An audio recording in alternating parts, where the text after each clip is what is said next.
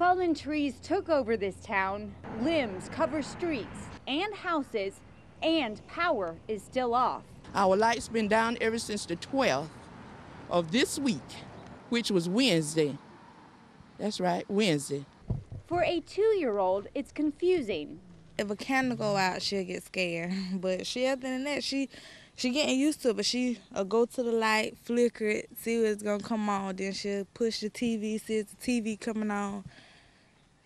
You gotta keep explaining the same thing. For many, it's cold. It's really disaster, you know, it's really bad, you know, for a small town we have and we don't have that many facilities.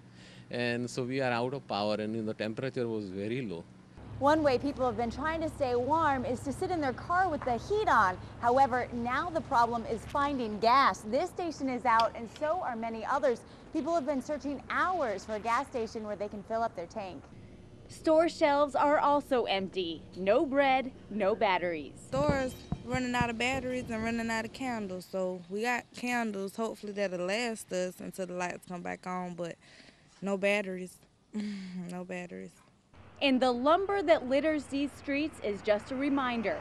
These people need lights, need heat, need help.